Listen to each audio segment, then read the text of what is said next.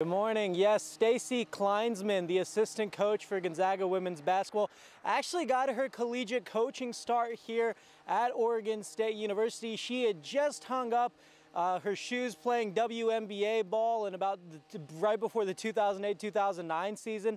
And that's when she decided she wanted to get into coaching. Well, she stumbled upon a director of basketball operations position here at Oregon State 10 years ago. I think it'll always kind of be that oh that's it's fun to uh, to always go back to your first job, um, but uh, nothing compares to where I am now.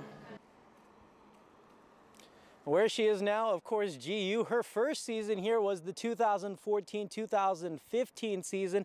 In that year, the Zags had a good year. They made it to the NCAA tournament, and guess who they played in the second round? Yes, it was Oregon State with a chance to go to the Sweet 16. It just seems like everything comes full circle, you know. So I, I, get my first job here, and then our first NCAA tournament bid as a coaching staff at Gonzaga. We're back at Oregon State again. So uh, it just seems like everything is coming full circle, and um, and it was a kind of a neat experience to come back, and and and also it was kind of neat to to beat them to go to the Sweet 16 that first year too.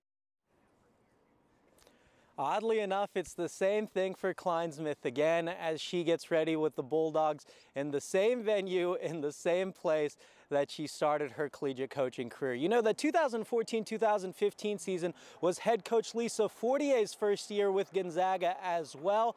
She talked about that Oregon State win yesterday being such a momentum builder for the program. Here's more of what she had to say about that win. You know, I, I think it was a big game for us to just to know that give a little bit of confidence to a staff and to the next generation of Zags that um, you know this is what Gonzaga is, not so and so or such and such person. And so that that's I think what we took out of it the most is that we are we are a nationally relevant team, and um, we still are, and we're going to continue to be um, going you know down the line. If they want to repeat that success, they're going to have to slow down Oregon State's guard Destiny Slocum. She's a player that Gonzaga recruited. She was selected to the All Pac-12 Conference selection team.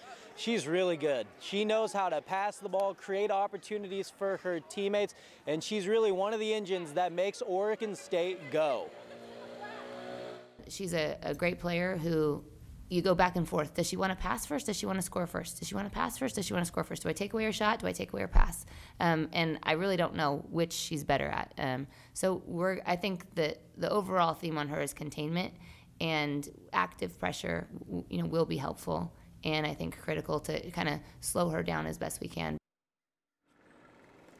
And besides Slocum, the other challenge Gonzaga will be facing in this game is the fact, well, they're basically playing a road game. Oregon State, Gill Coliseum, that's their home court. There was a lot of orange in the stands day before yesterday for the NCAA tournament.